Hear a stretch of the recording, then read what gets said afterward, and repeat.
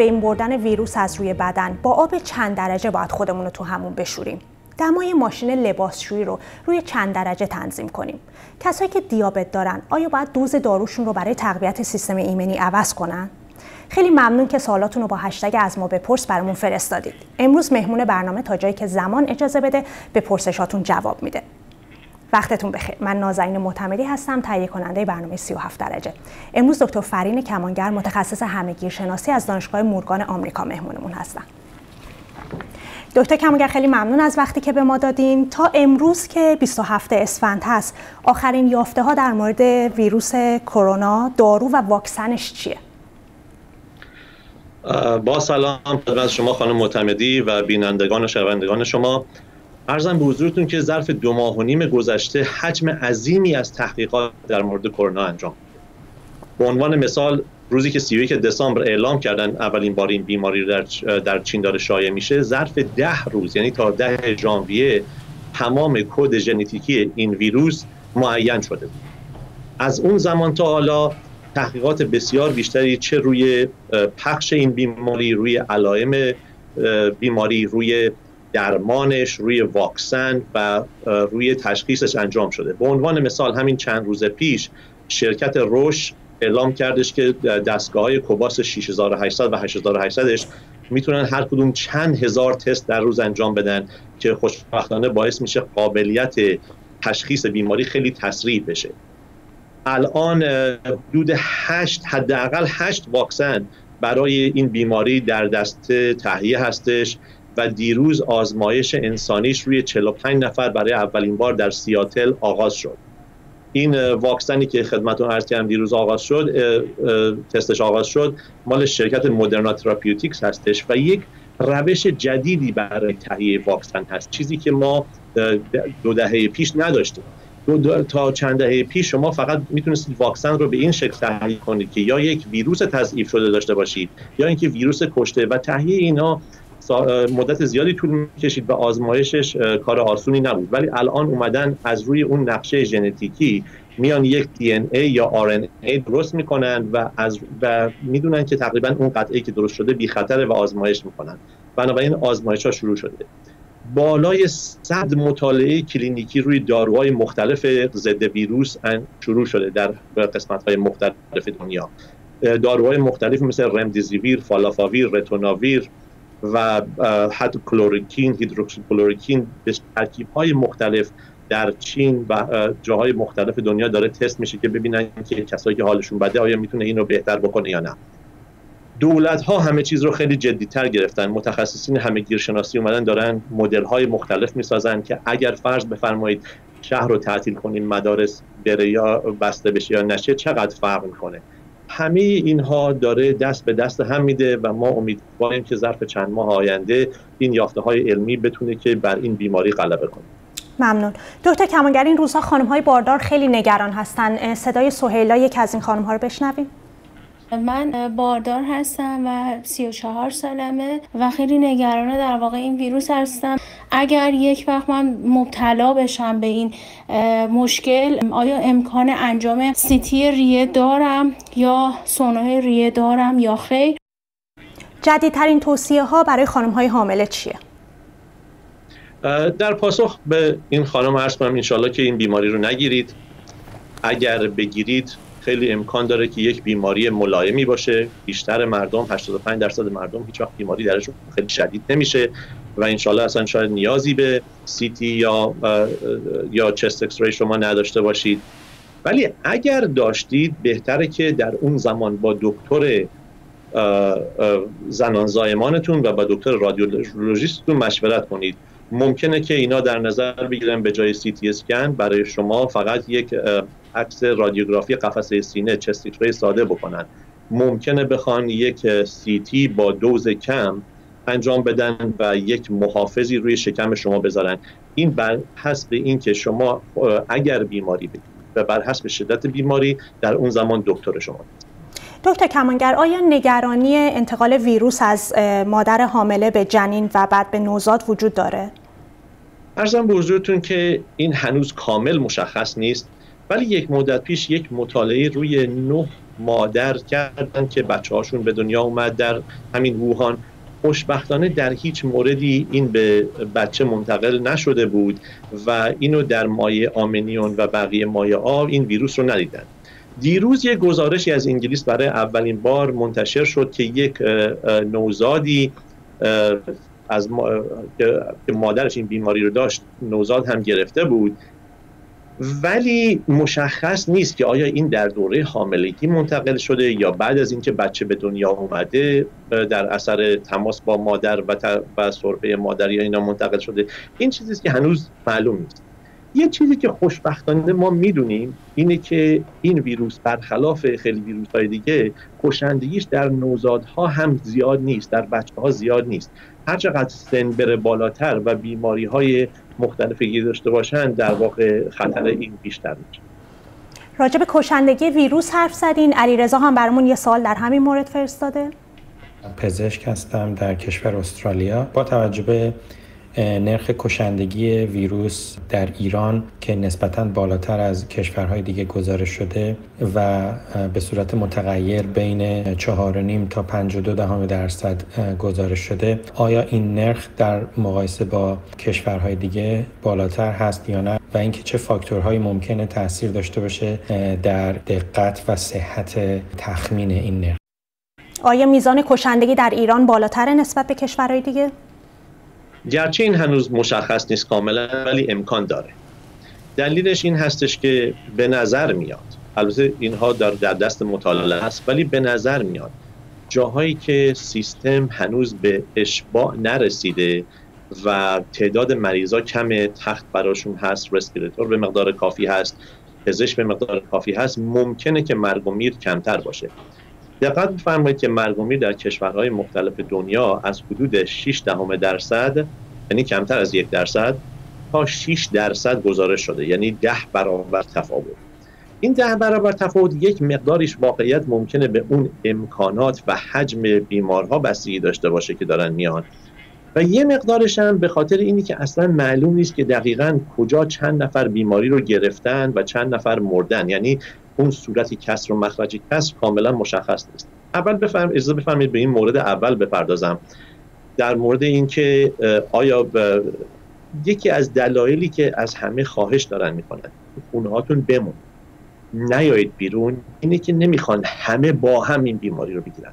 اگه همه با هم این بیماری رو بگیرن مسلما بیمارستان ها کلینیکا و همه جا به حدی اشباع میشه که ما امکانات کافی برای رسیدگی به این بیماری ها نداریم بیمارها نداریم و همین ممکنه باعث مرگ و میر بیشتر بشه بنابراین شما دقت بفهمید الان در ایالتی که من هستم مریلند مدارس رو تعطیل کردن دانشگاه همه آنلاین شده و دلیل عمدهش اینه که می‌خوان اگر بیماری رو مردم می‌گیرن در سطحی باشه که بشه قابل کنترل باشه تعداد بیماری ها.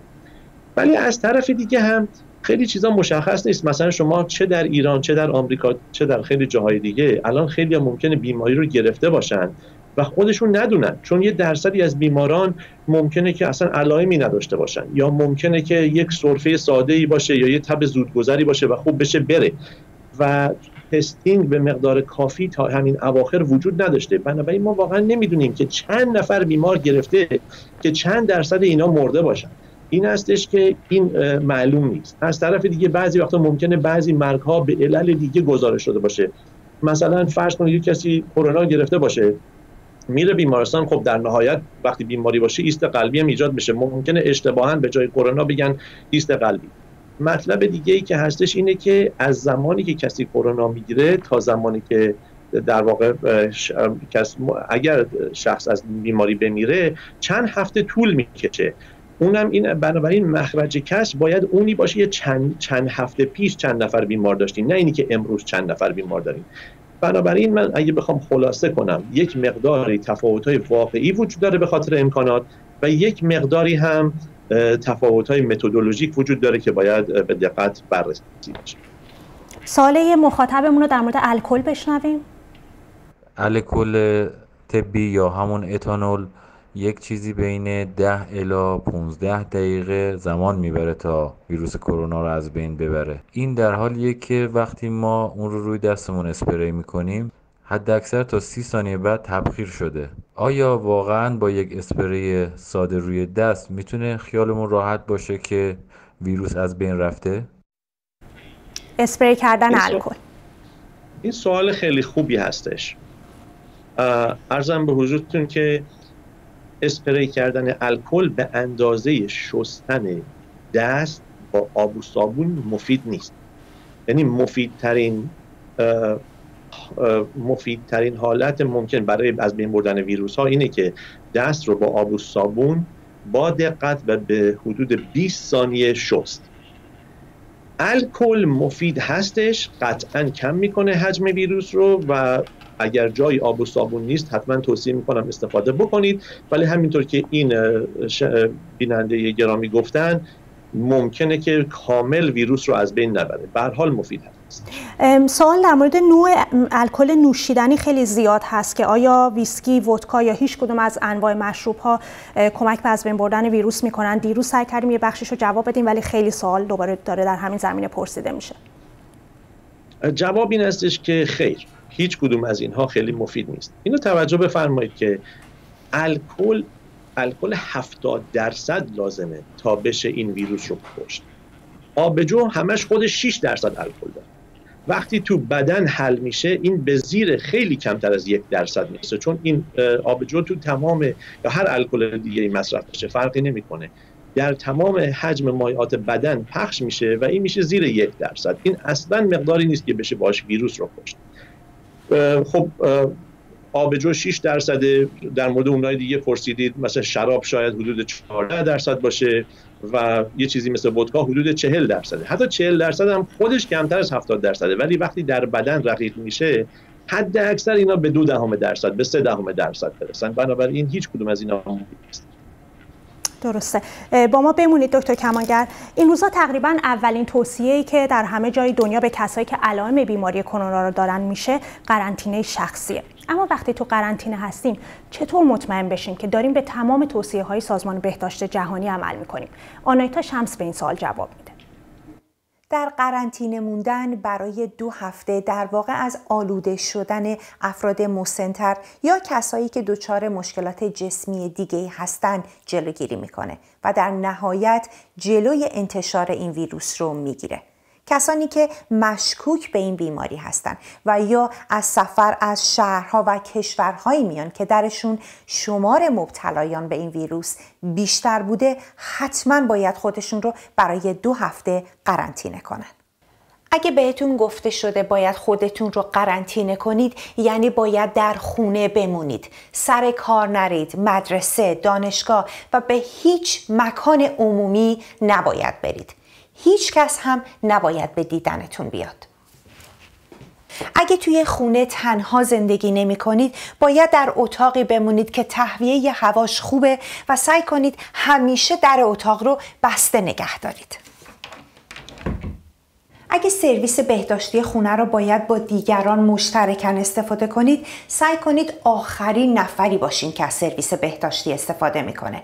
و حتما حله و تمام وسایل بهداشتیتون رو هم از دیگران جدا کنید آشغالاتون مثل دستمال ها، ماسکتون و دستکشاتون رو توی دو کیسه تو در تو بذارید و درش رو محکم گره بزنید.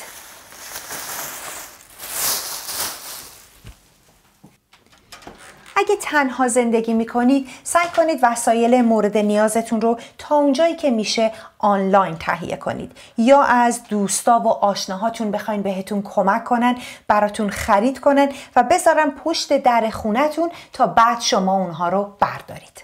اگه هم در خونه با دیگران زندگی می‌کنید باید غذا رو براتون بذارن پشت در و بعد شما اون رو بردارید.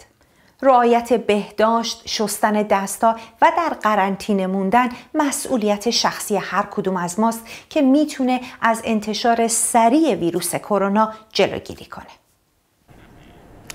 دکتر کمانگر سال یکی از مخاطبا رو بشنویم که مبتلا به دیابت هست. من و پدرم هر دو دچار دیابت هستیم. با توجه به اینکه وجود قند بالا به ویروس های کرونا کمک می‌کنه، آیا نیازی هست که دوز داروهای قند رو بالاتر ببریم؟ بشنویم پاسخ شما خیر. داروتون رو تغییر ندید. ارزم بزرگتون که اشکالی که پیش اومده اینه که خیلی از افراد دارن سعی می‌کنن که داروهاشون رو عوض کنن. بدون مشورت با دکتر این کار خوبی نیستش. چون اگه شما یهو به مقدار زیادی دوز انسولینتون رو ببرید بالا اصلا ممکنه قند خونتون انقدر بیفته پایین که یک وقتی مثلا بیهوش بشید بیهس بشید و بیفتید. یه خدای نکرده کسی به فرض بیفته به خاطر همچین چیزی. و یک قسمتی از بدنش بشکنه حالا بره بیمارستان و توی یک محیطی که آلوده هستش احتمال گرفتن ویروسش بیشتر میشه. بنابراین هیچ دارویی رو شما تغییر ندید مگر اینکه با مشورت دکترتون باشه. در همین زمینه بیماری ها یک کسی که مبتلا به اچ هست سوالش رو آیا مایی که بدنمون خب یه ذره ضعیفتر هستش و اچ مثبت هستیم تو این شرایط برای کرونا ویروس چه شرایطی ماها داریم؟ یا اینکه آیا دوباره بدنمون نسبت به آدمای عادی در خطره یا نه؟ داروهای اچ آیا موثر هستن؟ ارزم بزرگتون که اچ یا همون ویروس ایدز ایمنی بدن رو میاره پایین. به این شکل که میاد سلول های تی هلپر رو که یک در واقع یک سری سلول گلوبول های سفید یک قسمتی از گلوبول های سفید بدن هستن اون گلوبول ها رو از بین می‌بره و ایمنی بدن رو میاره پایین. وقتی ایمنی بیاد پایین در مقابل هر گونه عفونتی بدن آسیب پذیرتر میشه. بنابراین داروها رو من خواهش می‌کنم ادامه بدید چون این داروها باعث میشه که مقدار ویروس هایی که ویروس اچ که در بدن شما هستش بیاد پایین. سلول های تی هلپر شما که در واقع یه قسمتی مهمی از سلول های گلوبول های سفید شما هستند تعدادشون بره بالا و ایمنی بدن شما تقویت بشه. بنابراین جواب این سوال هم مثل سوال قبلی هستش. من خواهش کنم داروهاتون رو به همین شکلی که مصرف کردید ادامه بدید. اگر قرار تغییری باشه حتما با نظر دکتر. ممنون. سوال نیوشا رو بشنویم در مورد آلرژی. من آلرژی شدید محیطی دارم. به من گفتن که قرصای آلرژی می‌تونه سیستم ایمنی بدن رو بیاره پایین. می‌خواستم ببینم این حرف درسته یا نه. و اگر که من کرونا بگیرم به خاطر آلرژی شدیدی که دارم می‌تونه برای من خطرناک باشه یا نه؟ دکتر کموگر بفهم خواهش جواب این سوال هم مثل سوال قبلی هستش. شما اگر آلرژی شدید دارید حتما داروهای آلرژیتون رو ادامه بدید. چون اگر کسی آلرژی داشته باشه در واقع و در واقع مجاری تنفسی مسدود بشه به خاطرش شاید حتی بعضی وقتا ریسک گرفتن بیماری های سرماخوردگی های مختلف و ابتلا به ویروس های مختلف بیشتر بشه. بنابراین شما داروهای آلرژیتون رو به همین شکلی که ادامه می‌دادید ادامه بدید.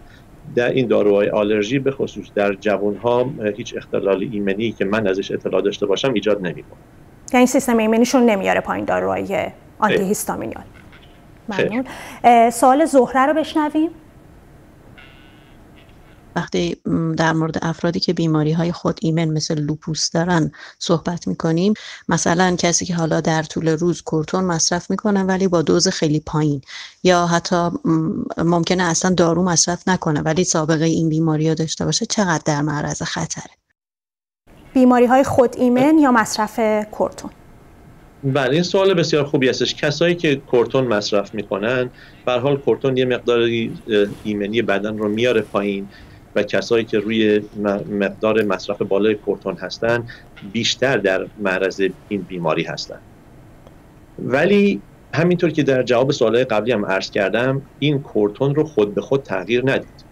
چرا؟ چون به خصوص کسایی که روی بیماری خود ایمنی هستن و مدت‌های زیادی است که کورتون مصرف می‌کنن اینا کارکرد قدره آدرنالشون تغییر می‌کنه.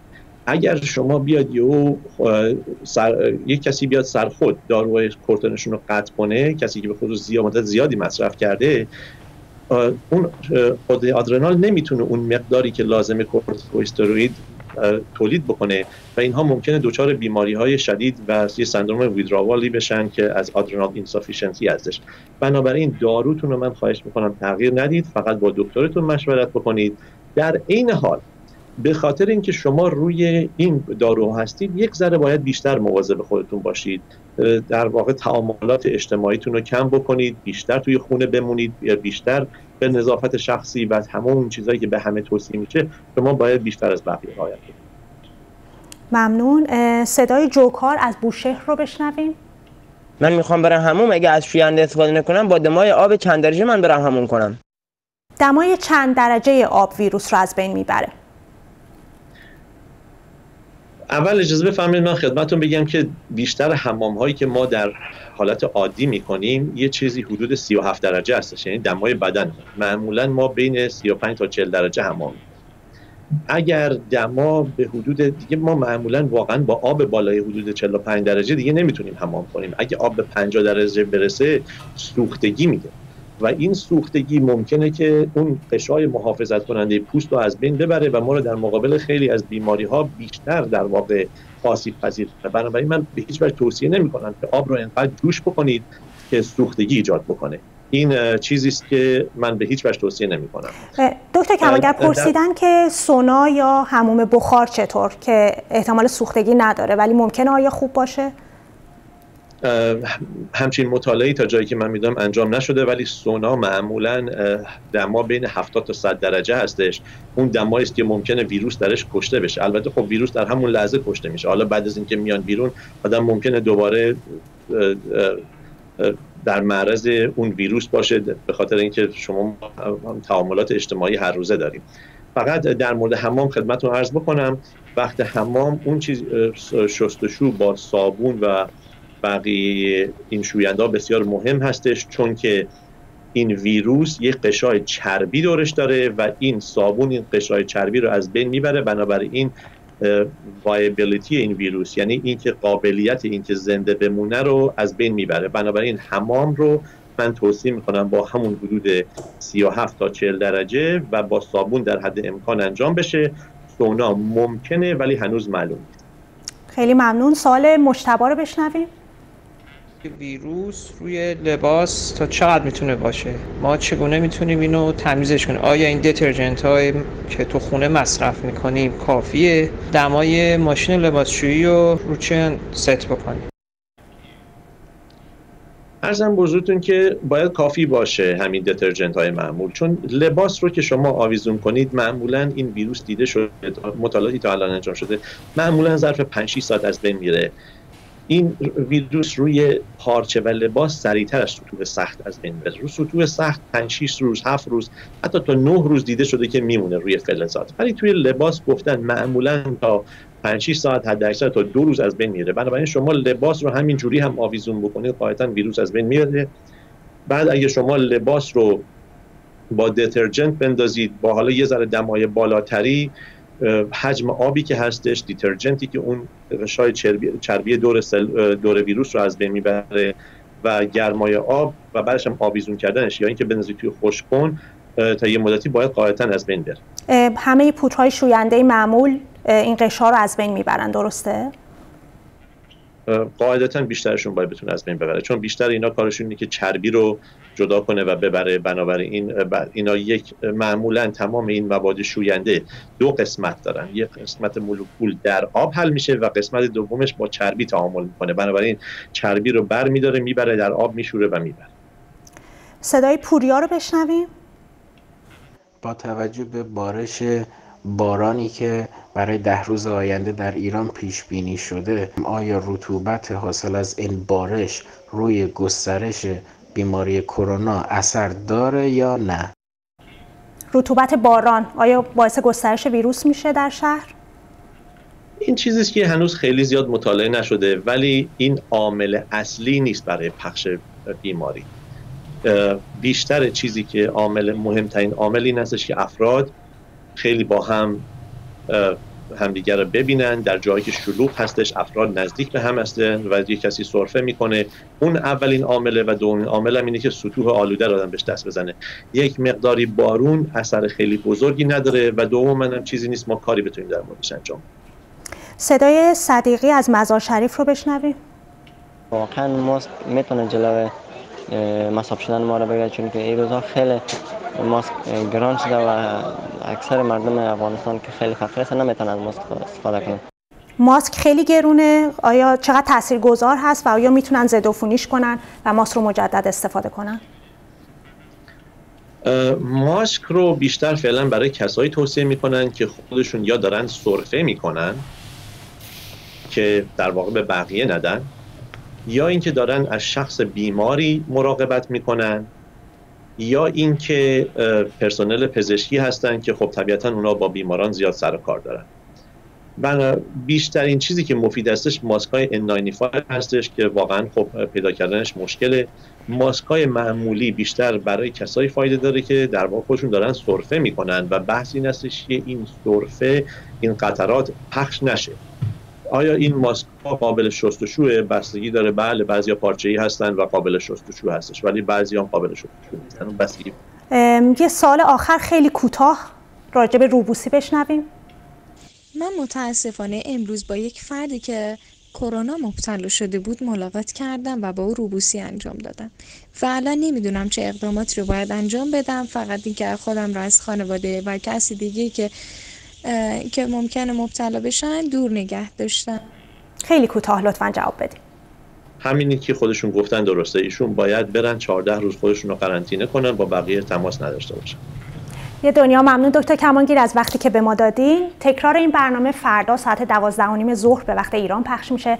برنامه بعدی دوتا مهمون داریم. دکتر جواد امان متخصص ایمنی شناسی و دکتر گلندام خائف گلندام خائف متخصص تغذیه. سوالاتتون رو ضبط کنید و به پیامگیر تلگرام ما با آدرس @bbc شما بفرستید. و جوابش رو ساعت 6 و نیم عصر به وقت ایران و 7 و نیم به وقت افغانستان در برنامه زندمون ببینید. تا برنامه بعدی مراقب سلامت جسم و روانتون باشید.